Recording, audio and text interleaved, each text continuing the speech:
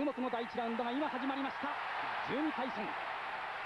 WBC 世界その顔がアウト。お左のフック攻勢に転じました。ダニエル・サラゴサ。これはいいからこれだけそうですね。と思わなかったですね。ちょう田剛さんがね、はい。レネ・バレントスのあたりがローレンなんですね。これでやっぱり頭にきてですねカットこないはいいですね。左のストレート。左をもらっています。します。ちょっと左がー今体がちょっと硬いんではい。ガードをちょっと固めてもう少し動いた方がいいですね。あー辰吉が簡単にあの左をもらってしまうというのはちょっといけませんね。ちょっと硬くなってますね、うんちょっとあのまっすぐ出てきましたからね今回ジャッジに入っておりますテリー・スミスさんはこの前のアセロ・サンチェス戦で、えーサラゴサとの技術を持っている。この辺りがなかなか相手にとってはやりにくい相手ではないかというふうまあセコンドの声は聞こえてますね。大丈夫ですね、はい。さあここからどう詰めていくかラウンドは見られておりません。第1ラウンド。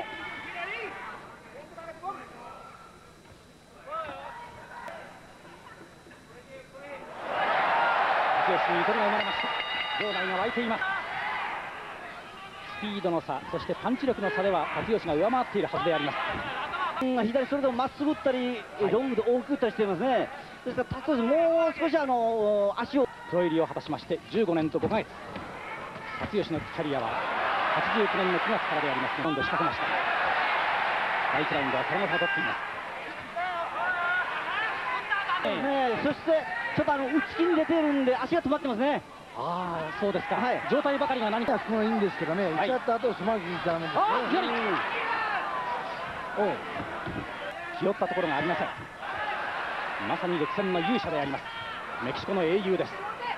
マッカラーの挑戦を受けて今年中に引退するというふうに言っております第2ラウンド終了しました。このはい。左のボディブロー。徹底して左攻めです。サラゴサ級の返り咲き。バンタム級とジュニアフェザー級の2階級制覇を成し遂げました。このサラゴサでありますが2階級制覇を成し遂げますと7人目ということになります。左先に先に来るところがあるんですね。そしてあの速いの打ったりちょっと緩いの打ったりしますね。はいあの頭にカットきちゃいけないと思いますよ。辰吉がファイ、えー、とマウスピースを自分で放り投げました。これはいけません。ダブルピースを口に入れていなければいけません。レフェトニー・ペレスが止めました。はい。自分で気合を入れるつもりで、えーまっすぐやっぱり辰吉が自分のペースに戻した方がいいと思いますよ。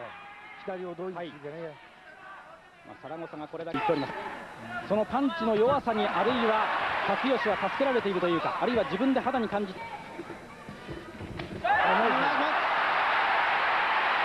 て辰吉が勝てば2回そして現在井岡選手はフライ級と3階級制覇を狙っております。サラゴさん耳切りました耳ね切りましたね。プレッシャーをかけます辰吉うん。さあ辰吉まとめていくか辰吉まとめていく辰吉の猛攻左の目の上原本は左の耳。ボディ。辰吉ボディ。さあバランスを崩した原本バランスを崩している。ほらチャンスだ。サラゴさんもタコスのパンチを警戒するんですよ。もらっちゃいけない。あ大金原さんはいもったいないですね。で攻め込めばチャンスです。カラーグリーンのトランクスの右のもものところには4つのクラウンが輝いております。一発当たってチャンスをつかんだタレさんですよ、惜しいですよね。ちょっともう少し体を振って入っていった方がいいですね。なかなか触れます辰吉がラスベガスの2戦で一番気にしていたのがそのウェイトの移動ということであったんですが。瞬間に入ろうと思ってますけどはい。避ける前にまず入ってから相手をちょっと逆に誘ってみたいもんですね。4度目のオーダーを獲得しました。まだまだ肉体は若いと言っております。しかし91年それがこの長寿の秘密であります。左ですよ逆に軽いサンノスさんのパンチが上がってきますからね。はい。どうしてもあの立ち位置では力が入っちゃう。カラーグリーンのトランクスの右のもものところには4つのクラウンが輝いております。一発当たってチャンスをつかんだタレさんですよ、惜しいですよね。ちょっともう少し体を振って入っていった方がいいですね。なかなか触れます辰吉がラスベガスの2戦で一番気にしていたのがそのウェイトの移動ということであったんですが瞬間に入ろうと思ってますけどはい。避ける前にまず入ってから相手をちょっと逆に誘ってみたいもんですね。4度目のオーダーを獲得しました。まだまだ肉体は若いと言っております。しかし91年それがこの長寿の秘密であります。左。ですよ。逆に軽いサラゴサのパンチが上がってきますからね、はい。どうしてもあの立ち位置では力が入っちゃうんですね。はいもう少し体振っいませんね。とちょっとやっぱり目に入ってきてますかね。距離がねやっぱり見にくいと思いますよ。距離も取りますが大丈夫大丈夫です。試合再開です。ジュニアフェザー級タイトルマッチ。辰吉が勝ちますと4人目の2階級制覇になります。ただやっぱり左右に踏んなきゃいけないんですよね、はい。これはもう見え見えなくてもただ打ったらこう上にした方がいいですよね。はい。サラゴサのストレート飛んできますからね。そうですね。えその辺りはサラゴサ抜け目がありません。顔面真っ赤です。辰吉丈一郎。苦しい試合展開だ。くっついてしまえば距離の測定の間に細かいパンチを放って相手の接近を許しません。左!遅れて打ったのが辰吉あ放てません。辰吉丈一郎。苦しい展開は第8ラウンド。サラゴサもあの切りやすいんですよ。はい。タイトルを取った試合でも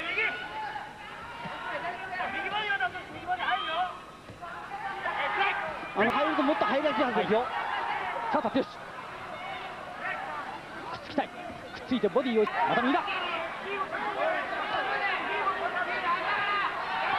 ちょっと正面に立ノーノーと言ってトニー・ペレスレフェリーが分けます。真っ白のトランクスはあっちで。やっぱりねあたあ効かなくてもああいうコチコチ打たれてきますとね。自然に焦っちゃう。後手に回ります。辰吉ですでありました。今回は122ポンドジュニアフェザー級のリミットで戦っております。この試合に勝てば2階級制覇になります。辰吉7000人を飲み込みました。横浜アリーナの辰吉丈一郎の復帰第一戦。作品ということを口にしませんでした。とにかく死に物狂いでこの試合はタイトルを取ること。それだけで先に行ってしまう。体が伴わない。そこをやっぱりあのチャンピオンサラゴサうまい具合に足を後ろがあー。目が水水が変わってきましたね出血もあります。割とあの右ラインだったらもっとガードの上打たせてそれで入るのも一つの手ですよね。うん。相手の腕を巻き込んでしまいました。辰吉です。入っていってから打てばいいんだそうですね、これまでのところはなかなか相手の懐に入れません。辰吉丈一郎です。必ず打たせませんもんね。はい。クリンチすると必ずそうですね。クリンきますからね。やっぱりあの辺で打たなきゃいけない。クリンチしちゃいますからね、はいそれと入ろうとするするときにどうしても見よう見ようするんですね。見ようとする。やはりサラゴサのパンチがどういうふうに来るかなかなか読めないということもあるんそですがいやそれと、ええ。あの目が血に入ってますからね。もう一歩踏み込め。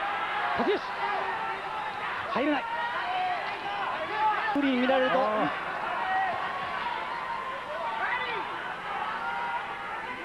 辰吉でありますが。止められるかも分かりませんからね。そうですか？